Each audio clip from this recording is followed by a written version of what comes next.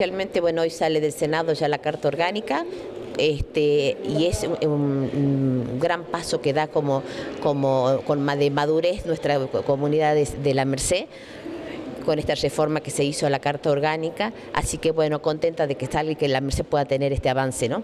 Bueno, con esto ya se completa también el departamento, ¿no? Se completa el departamento, sí, porque Cerrillo ya tiene carta orgánica.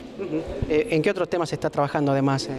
Bueno, ahora este, entra una ley de expropiación para el departamento de Cerrillo por el tema de los eh, cerrillanos que quedaron fuera del, del loteo de los paraísos. Como Vos sabías que eran mil, mil lotes para Salta y 200 para Cerrillo, de lo cual el cerrillano nativo oriundo de ahí siente avasallado sus derechos porque Salta Capital se está extendiendo hacia Cerrillo, la mayoría son salteños y no hay tierra para los cerrillanos, ¿no?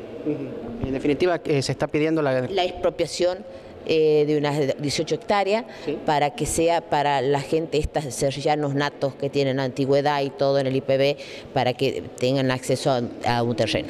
¿Y se estipula cuánto pueden, cuántas viviendas se pueden hacer en esta cantidad de hectáreas? Y más o menos son para 400 y pico, 500 viviendas. Bien. Con esto se No cubriría, ser digamos... vivienda, van a ser terrenos, ¿eh? Terreno. Terreno, sí. Pero con esto se puede llegar a cubrir, Se digamos, puede la demanda. cubrir algo de la, de, la, de la cantidad que quedan afuera.